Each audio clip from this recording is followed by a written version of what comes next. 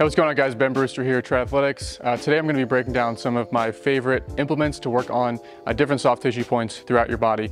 So what are my favorite tools to use for the feet, the lower leg, the calves, hips, hamstrings, quads. Uh, we're gonna work all the way from the ground up through the entire body and kind of give you guys some ideas to work from uh, as far as some of the tools that we use here at Tread. Now, a couple disclaimers. Uh, one, first and foremost, I'm gonna assume that you have a good rationale for attacking a certain tissue in your body, whether that's working with your coach, working with uh, your therapist. Uh, the answer is not always to just smash, you know, and grind a tissue into submission. Sometimes uh, that can do more harm than good, but assuming you do have a good rationale, uh, these can be extremely helpful, uh, not just exercises uh, to attack various tissue quality points, um, but the best tools actually get in there for the specific angle, specific tissue that we're trying to work. So again, these are just ideas for you guys to implement. The other piece is why do soft tissue work in the first place? Uh, a really good uh, resource to check out uh, if you kind of want to learn more about this called fascial manipulation. But essentially these researchers went through and they mapped the entire human body uh, head to toe and they looked at what are common points of fascial adhesions and densification throughout the entire body and how do those relate to uh, pain in terms of different muscle groups, different planes of motion. So let's say you're having pain in your bicep when you, you know, apply force in an anterior uh, direction. They've gone through and mapped all the relevant points where they typically will see densification points. And so that can give you a ton of ideas uh, for, depending on the pain, the dysfunction, what are certain tissues that we should be attacking with, whether it's a lacrosse ball, a foam roller, a barbell, some of the different implements that we'll, uh, we'll show you today. So that's just another good resource. As far as what's actually going on from a mechanism standpoint, essentially what we're trying to do with all these different implements is we're trying to create a change in the extensibility of these tissues, the hydration and the, the fascial uh, tissue quality of, of the various tissues in our body. So if you, we go back to how you were as a kid or even as a baby, right? These kids, these younger humans have much more pliable tissues, right? They haven't gone through years or decades of use and abuse and uh, fascial densification and injuries and scar tissue. And so they're very pliable. They're very, they're able to bounce back from things and recover really fast. And so the tissue quality is a big piece of that. Essentially what we're doing is we're trying to use deep pressure and friction to not just increase the, the local temperature of the tissue, but it creates a whole cascade of effects on a cellular level that helps to deaden and relax the muscle tone, helps to loosen it up, and then also helps not just how well it can extend, and that's what's called the extensibility, but also how well it's gonna be able to contract. So it's not just one of these things where tissue work can be thrown out and said, oh, it's just gonna reduce your power output. It actually will help you contract a dysfunctional muscle better if you're able to work through some of those adhesions and improve the hydration level of that tissue. So all that being said, let's go ahead and dive into the video. Um, I will also just say, we're gonna go through a ton, a ton today. Definitely don't feel like you have to spend an hour, two hours working through your entire body head to toe and doing all of these things. I'm just giving you guys some ideas. What we would like, typically like to see is when we do a head to toe movement screen of an, of an athlete, we might find two, three, five different kind of problem points for them. And some of these other things are just kind of bare maintenance. So if you don't have a plantar fascia problem, you don't need to spend 10 minutes a day working through your plantar fascia. If the back of your shoulder is your issue, spend more time there. So dedicate your time on your actual problem spots. Time is a really finite resource as an athlete. And so we can kind of uh, gloss over some of the less important spots for you and focus on some of the more imp important and dysfunctional spots uh, in your specific case. So starting with the feet, uh, specifically we're gonna be targeting the, the bottom side of the foot or the plantar fascia. Uh, this can get very, very dense, painful, gritty, uh, especially with athletes who kind of have plantar fasciitis or inflammation of, of, the bottom of the foot. So obviously you can use kind of tried and true a lacrosse ball, uh, tennis ball that's specifically uh, very painful. Um, we actually like this foot roller from Trigger Point. Uh, this can work very well. you can also use a PVC pipe or a barbell. So again, it doesn't have to be go out and spend a bunch of money and buy all these fancy tools. Uh, but we do like this uh, very well. So you can again work through the bottom of the foot, work through eversion, inversion a little bit, and spend two to five minutes uh, working through that tissue until you kind of feel the tenderness and the sensitivity die down from wherever it starts to, you know, maybe a two or three out of 10. For the lower leg, so the calves and then the anterior tibialis or kind of the, the front part of your shin, um, you know, better to use kind of a foam roller or if you want to be a little bit more aggressive, uh, as you adapt to that, um, I found that the Battlestar Uh, Mobility WOD Battlestar works really well. They have a number of different attachments, so this would be the biggest attachment, and then you can, again, progress to uh, smaller diameter attachments as well.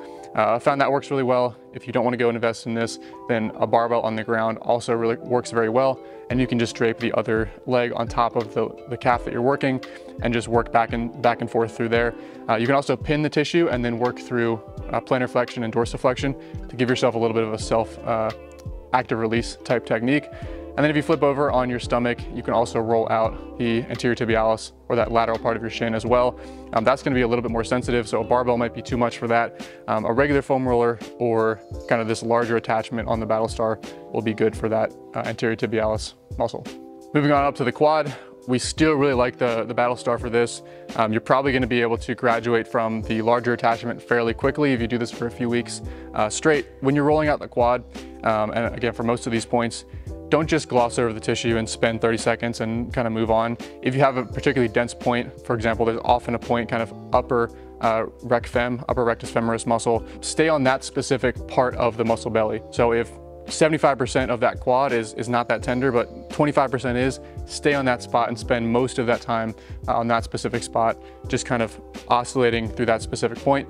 You can also stay on that point and go through knee flexion, knee extension, again, giving yourself a little bit more of an active release technique. Again, that's a little bit more expensive. Uh, the rumble roller, a pretty affordable alternative to that. And again, we have these little knobs here so you can really focus and find those pinpoint uh, density spots. Again, we're not trying to target the entire quad, we're trying to target the worst parts of the quad and spend our time and focus it there. So Rumble Roller uh, and Battlestar for the quad are, are two favorites there.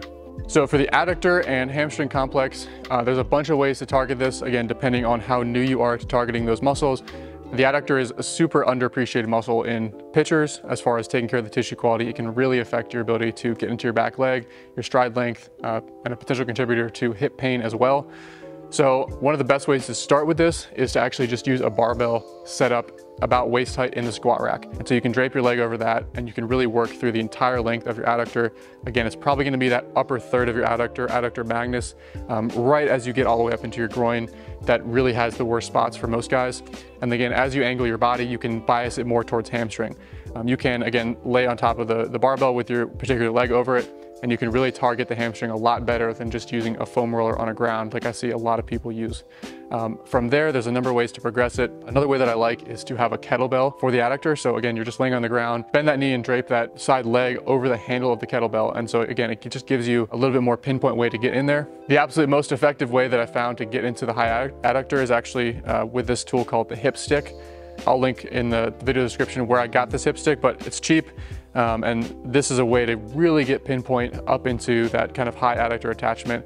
And if you're not feeling it on this, then your tissue quality is likely in a very good spot. Um, but this is very effective for hip pain, very effective for a tight groin, and this can link very well to any sort of other hip mobility flow or isometrics or static stretching or anything like that that you're doing. Start off with a few minutes of adductor tissue work and then progress into that.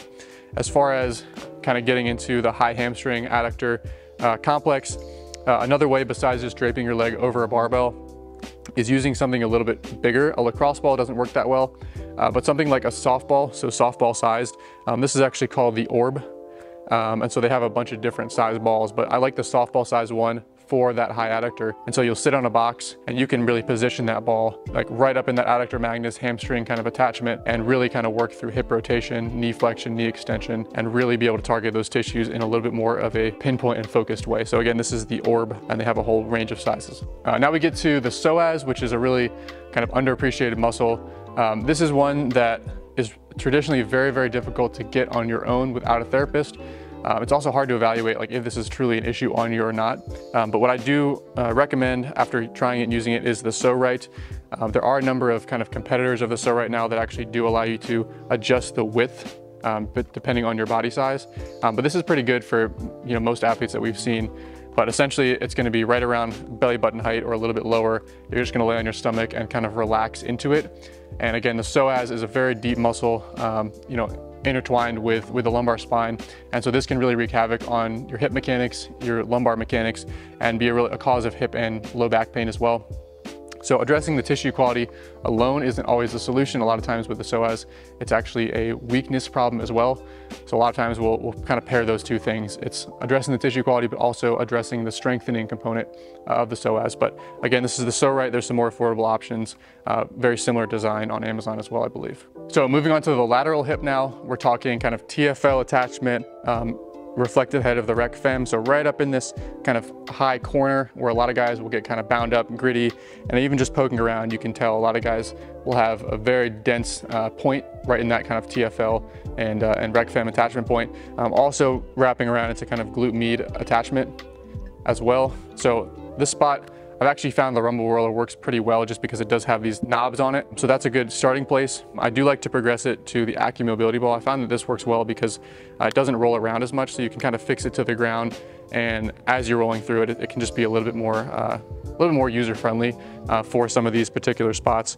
Um, as you're doing that, again, you can work through hip rotation just to try to target the TFL and a little bit of more of an active release. And you can also work through hip flexion, hip extension while you're on the ground with that. And then a lacrosse ball obviously can work as well. Again, this is another one of those, uh, those orb uh, balls. This is the Orb Extreme Mini. So again, they have a whole range of sizes, a little bit uh, softer than a lacrosse ball, uh, but also a little bit firmer than a tennis ball, so kind of somewhere right in the middle there.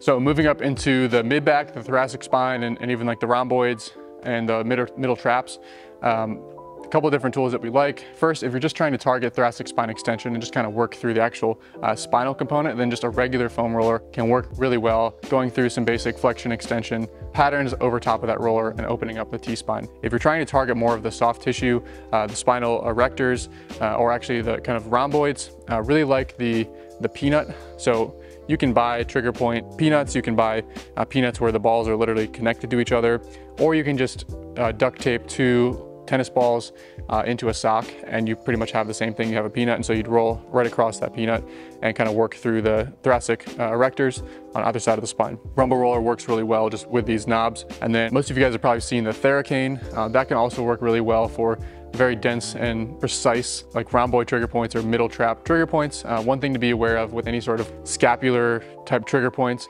is sometimes what we've seen is those can be more like protective tension and so you attack those, you beat them up, you're really sore for a couple days, it comes right back.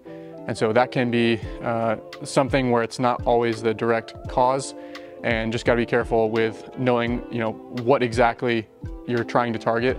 Um, sometimes there can be a slight kind of displacement of one of those ribs posteriorly, and so you have this really dense gritty trigger point right over top of that, but it's really actually the rib needing to be adjusted by a chiro or a therapist, and it's not actually something you can just grind your way into submission. So um, kind of be careful from that standpoint, but again, peanut, rumble roller, uh, regular foam roller, and then the Theracane is also good in, in certain circumstances. All right, so now we're getting a little bit higher up. We're getting into the lat. Uh, we know the lat is one of the most important uh, muscles to uh, work through that tissue quality for throwers. We need to be able to get full overhead shoulder flexion. We need to be able to get into that clean layback position and not have our scap being constantly and chronically dragged into depression and downward rotation. So we need that lat to be able to extend and be able to allow us to get into some of these positions uh, with clean shoulder mechanics. The problem is it's a very tough muscle to get on your own. Um, one of the ways that we have found that's, that's decent is with the Battlestar, um, you're probably gonna be able to move on to the smaller attachment with the Battlestar and again, just lay on your side and work through kind of the entire length of the lat. It really is an inferior method versus just having a partner, however. So a partner's heel where you lay on your back and you have a partner or therapist kind of working through with a decent amount of pressure. You do need a good amount of pressure uh, for the lat in most cases to actually get a, a true release uh, effect and be able to get the maximum effect uh, for what we're trying to do in that small amount of time. So again, the Battlestar can work, um, but would strongly recommend uh, you know, having your trainer, therapist, uh, partner do this at least the first time so you can really see the difference in what it's supposed to feel like. So now we're getting to the subscap, uh, which is again a, very underappreciated muscle when it comes to uh, throwers and when it comes to shoulder pain and impingement as well. I have literally seen cases of athletes with shoulder pain and pinching and impingement who address their subscap for two weeks and their shoulder pain completely goes away. That's how important of a role the subscap plays and if we can improve its ability to not just contract but lengthen, um, we're, we're having a direct influence on the positioning of the shoulder inside the socket and on your scapular mechanics as you go through that aggressive layback into ball release. So we really want that to be as tension free as possible, or should I say free of adhesions and poor tissue quality as possible. So I found that on your own, there are ways to uh, actually try to get there with your own fingers. Uh, but I found that the jackknobber, I believe this is called the jackknobber two or three. I'll make sure to link this below. Um, this can work really well as well, just to be able to get all up in the subscap. And again, working through a little bit of external rotation to give yourself some of that active release component. Again, once you find the worst spot in your subscap, try to stay there for two, three, four minutes and just work through micro oscillating through that specific band of density rather than just spending 30 seconds on the entire muscle as a whole. And you're not really gonna get the same localized effect in that muscle. Um, however, this is another one where if you have a partner slash therapist slash athletic trainer, um, a proper subscap manual release is infinitely better than what you're gonna be able to do on your own because you are really gonna struggle to be able to relax fully into this release on your own. So it's a tough muscle to get. It's an extremely important muscle to get. If you can have a therapist trainer uh, work through this a few times for you, um, you're gonna get a lot of benefit out of that and potentially have an easier time replicating it on your own moving forward. Now let's look at the pec minor. So uh, we know the pec minor is an extremely important muscle again for throwers.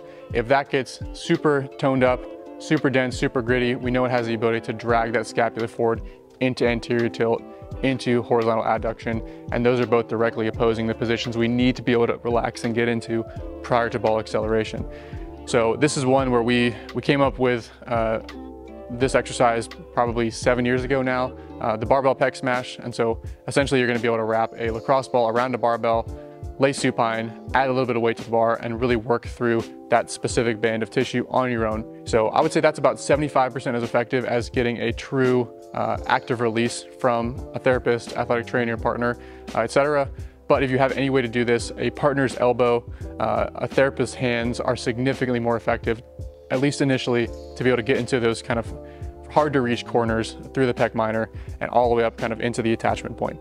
So again, extremely important, undervalued muscle uh, from a tissue quality standpoint for throwers. You're not gonna get the same effect by just leaning up into a doorway with a lacrosse ball, rolling over it for three seconds and thinking that you're good. Even if you feel like it's a little bit tender, uh, just trust me, this is when you have to get fairly deep. There needs to be a good amount of pressure to really get the lower kind of underlying layers of the pec minor and to truly get the release that you're actually going for. Again, it's deep to the pec major. It's harder to get to. So give the barbell pec smash a try, but if you can, uh, we have various partner ver versions of this that we show our athletes how to do with their trainer as well. So moving on to the subclavius. If you don't know what the subclavius is, that's okay. Uh, all you need to know is that it's a muscle just below your clavicle, so just below our collarbone.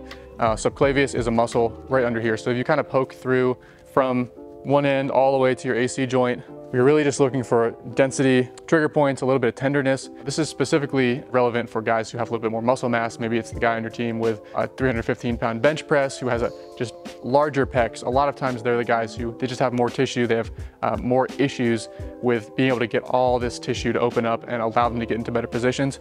So if you have any density through this area, uh, actually we found that just a thumb, your own fingers can work really well. Um, if you're just seated, it can also work well to kind of let that arm and scap hang forward, and that's gonna expose kind of the underbelly underneath the clavicle, and you're gonna have an easier time actually getting to those points. Again, for me, I don't have any issues there, I don't feel any tenderness, but definitely seen athletes where it's an eight out of 10 tenderness, and so either a trainer, partner, um, you know, thumb and finger, or just your own thumb and finger, and just staying on that specific spot, cross-frictioning it for two, three, four minutes, however long it takes to go from a six, seven, eight out of 10 to a two, three, four out of 10, and then moving on.